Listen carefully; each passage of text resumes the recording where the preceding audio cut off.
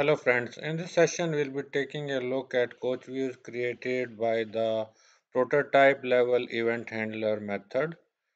So as you are aware that regular coach views can we can make custom controls out of them using the exposed event handlers like load, uh, unload, validation, change, etc. But there is a different method to create coach views using the prototype level event handlers. First, let's take a look at the working of this sample we have. It's called a Sparkline control and it is available in the DOSVEC UI Enterprise Toolkit.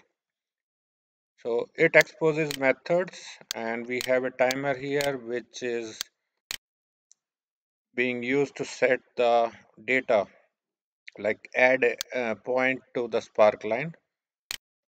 And if you run it it behaves like this.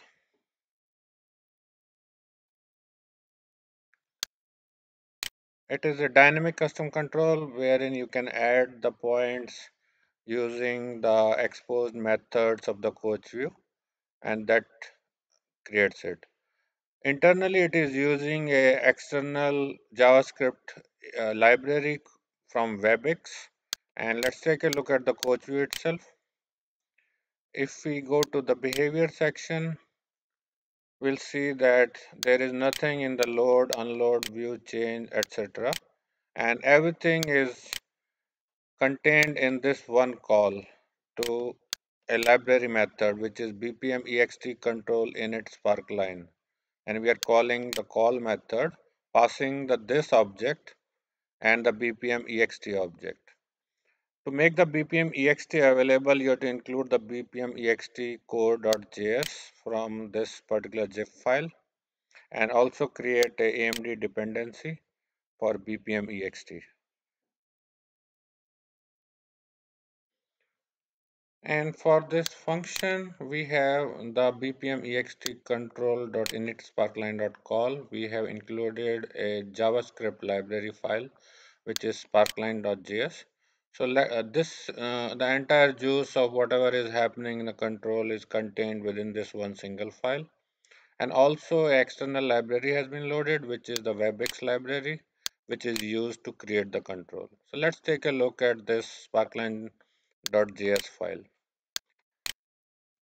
So it has a constructor method in it and then similar to the lifecycle event methods of a coach view, it has other methods, for example, a load method, wherein we pick up all the configurations from the configuration of the coach view, all the binding data and the configuration options. Then in the load, we construct our control utilizing the markup created in the content area uh, of the coach view.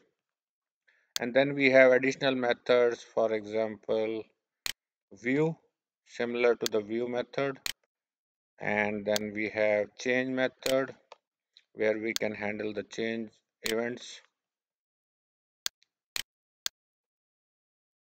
And validate collaboration and unload so all those methods are uh, same as the lifecycle methods of a coach view which are externally available but here we are uh, combining them into a single file and this file contains everything necessary to render the uh, coach view and make the functionality work.